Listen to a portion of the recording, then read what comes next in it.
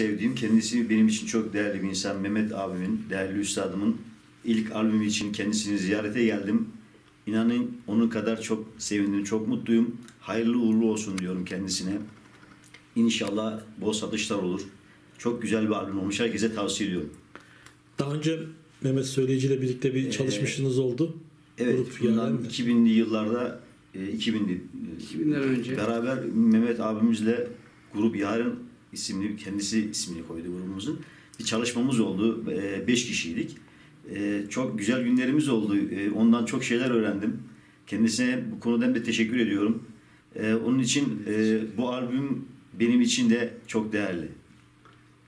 Teşekkür ediyorum Adil kardeşime. Kalsure'de çok değerli müzisyen, sanatçı dostlarımız var. Bunlardan biri de Adil kardeşim. Beraber e, dediği gibi orkestra e, yaptık zamanında. 3 sene civarında bir süre çeşitli şehirlerde uzak yakın demeden gittik. O bizim solistimiz o güzel sesiyle bizi her zaman destekledi. Ve e, tüm arkadaşlarımızla olduğu gibi Adil'le de çok güzel bir dostluğumuz hala kardeş gibi devam ediyor. Kendisine çok teşekkür ediyorum. Canım ben teşekkür ederim abi.